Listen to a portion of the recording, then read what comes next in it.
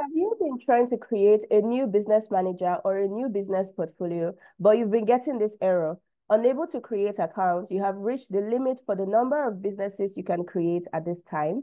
If this has been happening to you, don't worry. I'm going to show you a trick you can use to get a new business manager or a new business portfolio. Now, first of all, the reason why you're seeing this error is because each Facebook account is only permitted to have two business manager accounts or two business portfolios. They recently changed the name. So once you've created two business portfolios, they're not going to permit you to create a new one. But like I said, there's a trick on how you can do this. And all you have to do is go over to your Facebook account and create a Facebook page. Also go over to Instagram and create a new Instagram account. Now I'm going to go over to my mobile phone and show you just how you can go ahead to create a new business portfolio. So let's switch over, shall we? I'm on my mobile phone now and I've opened up a new Instagram account that I created. Now I'm going to click on edit profile and then I'm going to scroll down to the end and you'd see page, connect or create. So I'm going to click on that. Now they're saying connect or create a Facebook page and they're going to ask you to log into your Facebook account. So I'm going to click on continue and they're going to ask me to connect to Facebook. So I'm going to pause the recording, log into Facebook, and then come back to show you the rest of the process. So if you're following along, please log into your Facebook account and come back and meet me in a couple of seconds. So I'm right here logged into my Facebook account now, and they're asking me to select the Facebook page. So I'm going to click on this one, this example page I created, and then I'm going to click on connect. So let's just wait for it to connect completely. And then I will tell you why this works. So we are still waiting. Okay, maybe I should be telling you why this why this works um, while this is going on.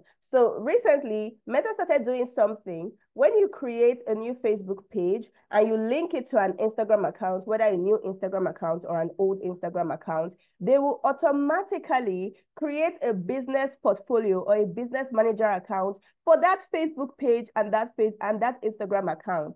So if you run out of business manager accounts, all you have to do is create a new Facebook page and link it to an Instagram account. Once you do that, they are going to create um, a new business portfolio for you. So it has already said that the page has been linked. So I'm going to go back over to my business manager and I'll show you the new business portfolio that was created in the name of the Facebook page, period, the example. So give me a moment and I'll show you that shortly.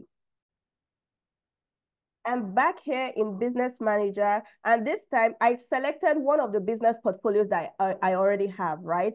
Now, what you're going to do is you're just going to come over to this menu bar here, click on the current business portfolio, and you're going to scroll. And once I scrolled, I saw that create the example had been created. That is a brand new business portfolio. So I've clicked on it to open it up.